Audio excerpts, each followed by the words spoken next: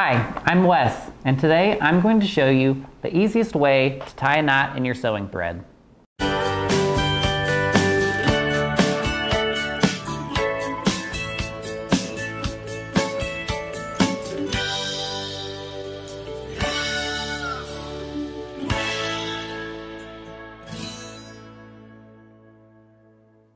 So this sewing hack is something that my mom taught me a long time ago and it's one of the best tricks I've learned for sewing. So I'm going to demonstrate with a large darning needle and some yarn because it shows better on camera, but it works exactly the same if you're using regular sewing thread and a small needle.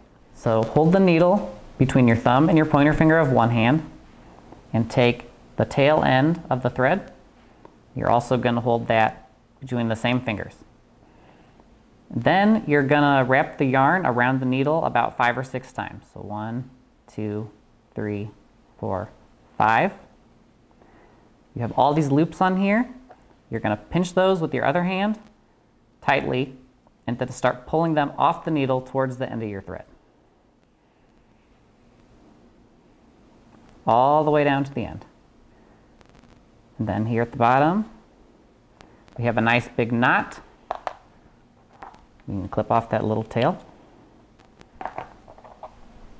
And you're good to go. Thanks for watching my video. If you found this tip useful, I hope you'll give me the thumbs up below and subscribe to my channel for more great sewing videos. Thanks, bye!